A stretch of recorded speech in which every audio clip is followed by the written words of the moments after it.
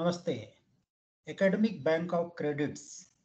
This is uh, introduction to Academic Bank of Credit Credits. We are going to discuss about briefly. India has uh,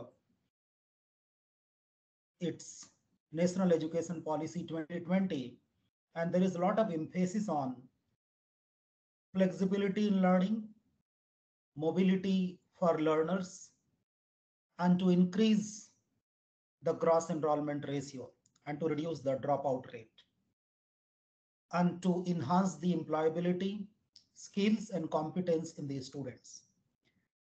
And in this direction, this academic bank of credits called as ABC is going to play significant role. Let us understand how.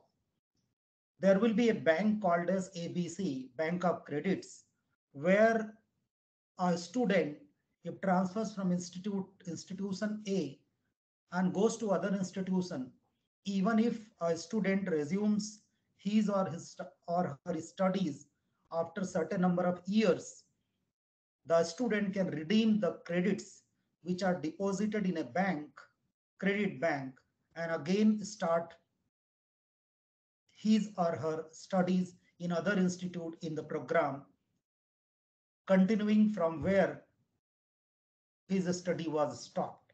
So this is the benefit of credits. In a credit system, you have to earn certain number of credits. For example, say a Bachelor of Engineering, Computer Science and Engineering. Say in each semester, if you have to earn 28 credits, and if you have done three semesters and you left, so you will have certain number of credits deposited in the bank, which will not be uh, vested, which will be not, which will be used utilized later whenever you want to again resume your studies in some other institute. So there is a great motivation for this.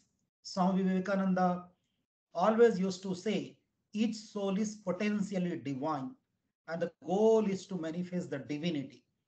Because of certain factors, certain reason, a student who has tremendous ability is not able to continue his education must be given adequate opportunity to carry out to continue his education and whatever he did or he had already completed that benefit must be carried forward. So the system this particular system of abc academic bank of credits will remove the obstacles on the way to achieve perfection.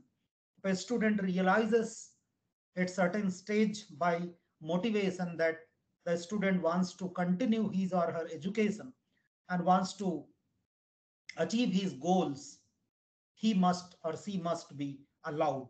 And this is allowed, this flexibility is allowed in the system called as ABC. So let us understand the national education policy very briefly. As we know that in national education policy, the emphasis is more on competence the employability skill development.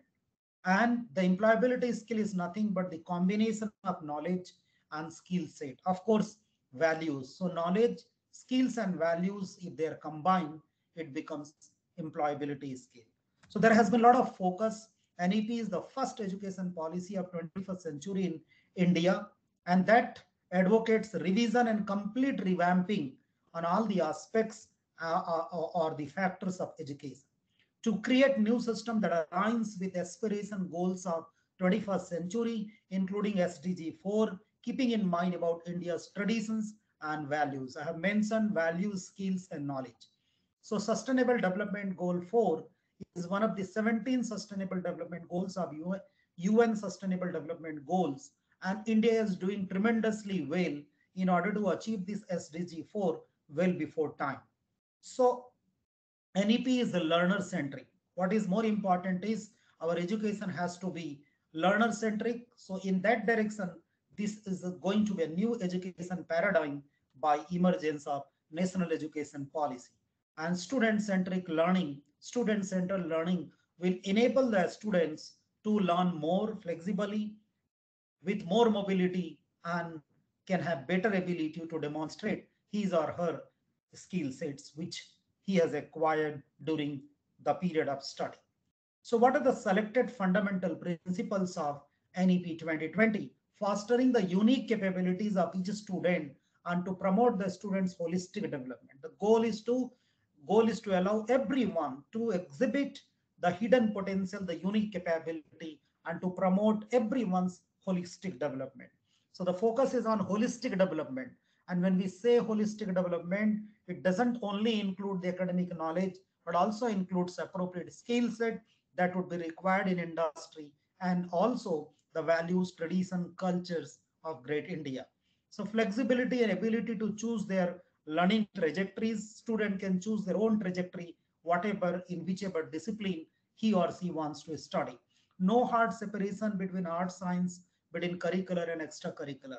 I mean, multidisciplinary and interdisciplinary education has to be given a lot of priority and has to be promoted. The emphasis on conceptual understanding rather than rote learning. The, the learning is not to be done for examination, passing the examination, but to have the conceptual understanding of a topic or the courses and, and different uh, programs. Focus on regular formative assessment.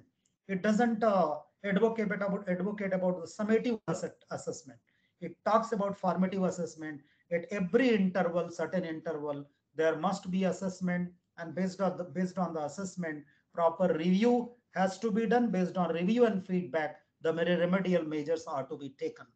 Multiple entry and exit point is the beauty of NEP.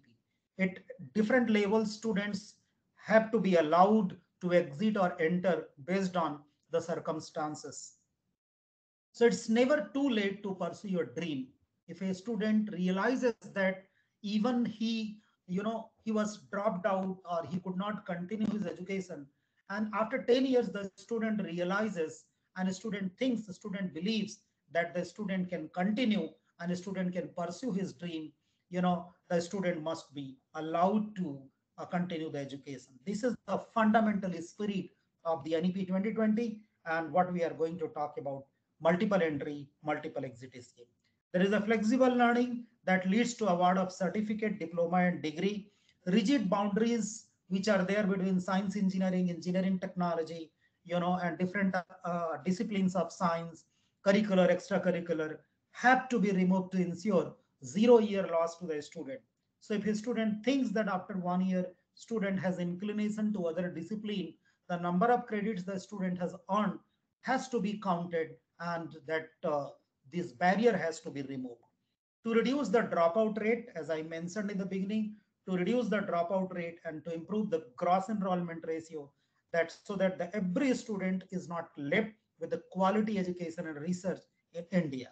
It facilitates lifelong learning with opportunities of learning from anywhere, anytime. So it gives a lot of mobility that after any number of years, which the student has left the education, or wherever, say the student is located to other place, relocated to other place, the student must be allowed to continue the education. Seamless student mobility.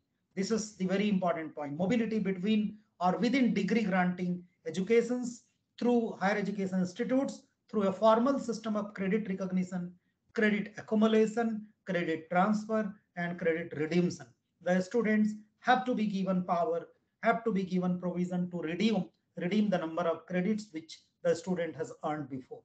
The Academic Bank of Credit, therefore ABC, is there, which is a mandate of Government of India to facilitate students to become its academic account holders. So it will be just like our bank where the financial bank where we are we have money and whenever we want we can redeem we can uh, debit certain amount of money so in the similar manner abc will work and you can you know uh, whatever you want will be credited in the ABC and whatever you want to debit, suppose you want to go somewhere, you want to relocate, you can debit those number of credits.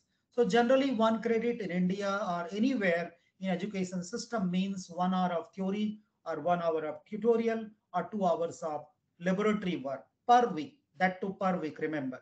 duration of semester is generally 13 to 15 work weeks that results awarding of one credit to the student. So we have to understand what is credit when we are talking about credit transfer. ABC with credit transfer mechanism has to be there. Credits are will be always deposited in a particular university or institute where student studies and there will be bank where deposit will be there And then whenever institution changes, the student goes to other institution, those number of credits will be redeemed and student can continue the education from that point of the that point where the education was stopped. So let us understand the operational details. It is organized from level 5 to level 10, where level 5 represents certificate and level 10 represents research degree. Say level 5, which is, uh, you know, it, it's equivalent to earning 36 to 40 number of credits, where student will get UG certificate in the field of learning or discipline, science, engineering, whatever. For those who exit after first year, say a student is not able to continue the education and wants to exit after two years of UG program, first year or two semesters of UG program will be given a UG certificate that will be counted. It's not like that, you know, this is uh, since the student is not able to complete three or four years, this is not going to be waste. This is to be granted as UG certificate. In the similar manner, UG diploma, if a student exits after two years or, or after four semesters, and the number of credits by that time the student would have earned will be 72 to 80 and will be granted at level 6 UG diploma. Similarly, bachelor degree will be granted when the student exits at the end of three years or completing six semesters, earning 108 to 120 number of credits at level 7. At level 8, student will be granted bachelor degree, bachelor degree honors, BSc honors, BA honors, or BSc research. So a research degree will be granted will become will when the student is exiting after four years or eight semesters equivalent to 144 or 160 credits. At level 8, postgraduate diploma degree will be granted after exiting the successful, successful completion of first year or two semesters of master degree program. Actually, a student has taken admission for master degree program, where the master degree program is of four semesters, two years. But when a student wants to exit after one year, the student has to be awarded PG diploma certificate.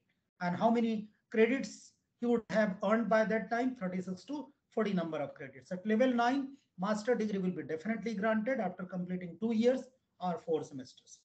And at level 9, master degree, uh, one year or two semesters after obtaining four-year bachelor degree or honors research program. So these are two different, sub, different types of master degree program uh, earning certain number of credits. And doctoral degree, uh, the minimum prescribed credits for coursework will be there, which will be prescribed in a PhD degree a doctoral degree program in the institute and the thesis and the research work has to be submitted in the due uh, you know uh, in in the in the due course of time and the student has to be awarded doctoral degree so this is a portal which is there in abc.gov.in where student can register is a kind of opening his account or her account in a DigiLocker, search for education, what the different types of categories, create ABC ID, and then in uh, that in that particular ID, all those credits will be accumulated. Similarly, for institution, institution can register uh, the name of institution in the ABC Academic Bank of Credit so that students who are coming from other institute can get benefit of credits which are there, which are deposited in the uh, the ABC. So uh, this is the screenshot of abc.gov.in, Academic Bank of Credits, Ministry of Education, Government of India. Briefly, it's an online centralized system. Credit accumulation and redemption, redemption is allowed.